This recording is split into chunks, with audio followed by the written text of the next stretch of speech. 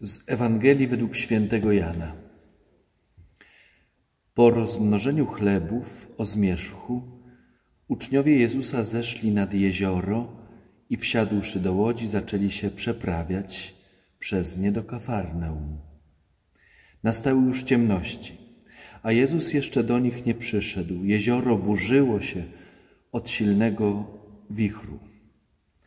Gdy upłynęli około dwudziestu pięciu lub trzydziestu stadiów, ujrzeli Jezusa kroczącego po jeziorze i zbliżającego się do łodzi i przestraszyli się.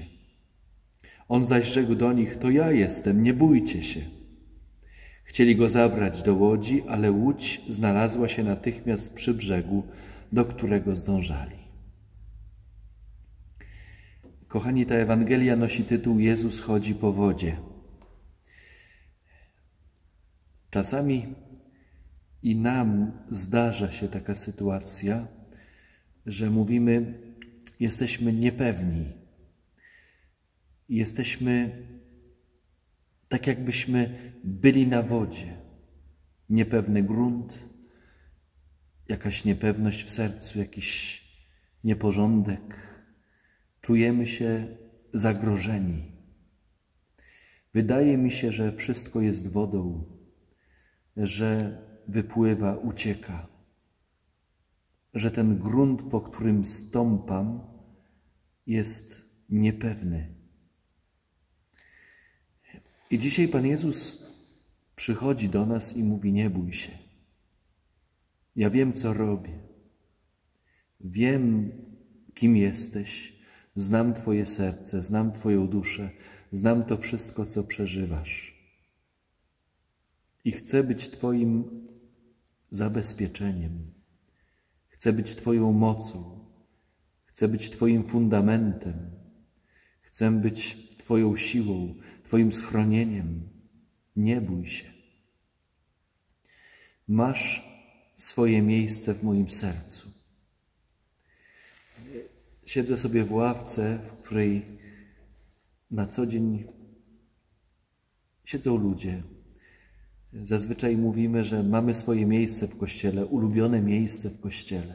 Mam swoją ławkę.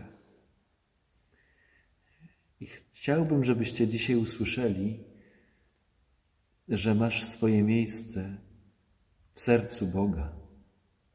Nie masz się czego obawiać, nie masz się czego bać. To jest Bóg, który nigdy z ciebie nie zrezygnuje, który nigdy nie powie: Tu już dla ciebie miejsca nie ma. Sercu Boga masz zawsze swoje, swoje miejsce.